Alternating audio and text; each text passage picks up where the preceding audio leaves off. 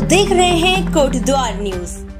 कोटद्वार में आज एक होटल में अवैध और प्रतिबंधित मांस पकाए जाने की सूचना पर हिंदूवादी संगठनों से जुड़े लोग लकड़ी पड़ाव स्थित एक होटल में जा पहुँचे और इसकी सूचना पुलिस को देते हुए पुलिस की मौजूदगी में मांस को थाने ले आए। जहाँ काफ़ी देर तक खुद हिंदूवादी संगठनों से जुड़े लोग ही ये तय नहीं कर पाए कि आखिर ये मांस किस जानवर का हो सकता है, जिसके बाद पशु चिकित्सा अधिकारी कोटद्वार को भी थाने में बुलाकर इसकी जाँच कराने को कहा गया। पुलिस को दी गई तहरीर में शिकायतकर्ता मुकेश बहुखंडी ने बताया कि शिकायत मिलने पर सभी कार्यकर्ता रईस अहमद के होटल पर पहुँचे और दीपावली के त्योहार को ध्यान में रखते हुए शांति व्यवस्था बनाए रखने को लेकर इस मांस की जाँच कराई जा रही है पुलिस के अनुसार जाँच रिपोर्ट आने के बाद इस मामले में नियमानुसार कानूनी कार्यवाही की जाएगी